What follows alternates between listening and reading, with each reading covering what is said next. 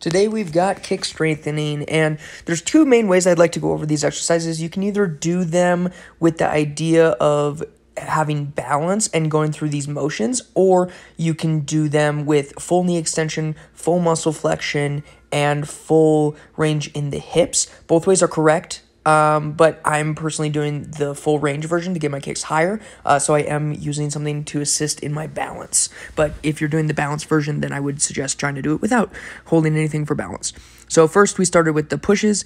Now we're doing the pulls. These are side kicks. Uh, helpful tip for the side kicks that I've been focusing on is that it is actually a kick that starts in the front of the body, not in the back of the body. It's not like a donkey kick, it is a forward kick, more, much more like a front kick than it is like a hook kick or a back kick.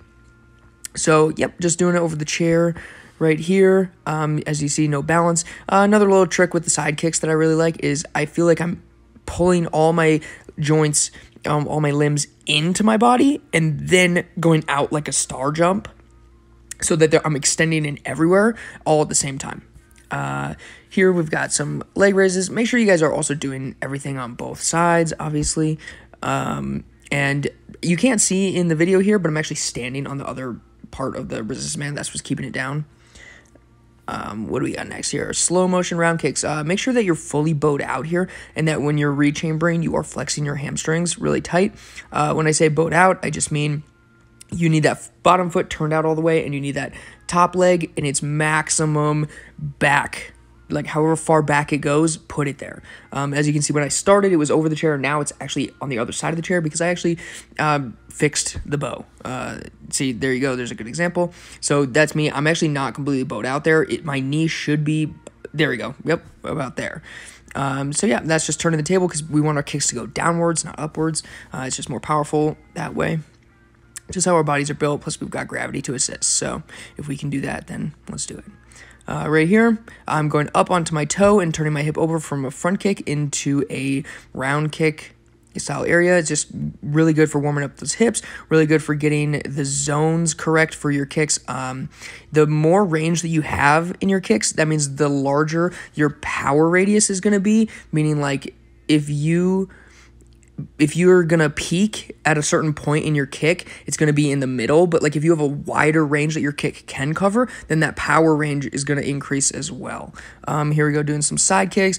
I'm dragging the straight leg all the way across and then bending the knee. And that's actually not how you're supposed to side kick, but it builds the muscles for a side kick extremely well. Um, this is really just getting my knee to react properly, maintaining my balance, maintaining posture, and just like understanding quickness. Um, I don't think I would ever use these types of kicks uh, ever, but it's just like good for balancing and full extension. Here, I'm just making sure that my like that was real speed. So I'm just like really, really flexing my quad and locking out my knee here on these. Just like yeah, just making sure that was in slow. That was in fast motion and it looked slow. So yeah, just really lock it out, uh, strengthen up those hip flexors and those quads so that leg can snap out and be comfortable in these ranges of motion. Uh, yep, and then just getting the getting the height on those. These are push kicks, so the knees going up and then pushing away. Um, kind of like a punch, you know, pushing the gas pedal at the end there. It'll be make more sense in regular speed here. There we go, pushing, pushing, and that's everything. Um, if you do everything both sides, oh, well, we got hook kick pumps, and I'm not sure what else we got. Um, that might be everything, but I just want to say quick um, if you go through this whole thing it takes me about uh, 30 minutes to 45 minutes to go through the whole thing both sides. Everything is generally um, i just do one set but i do it every single night. So it's um, about 10 total of everything. And yeah that's it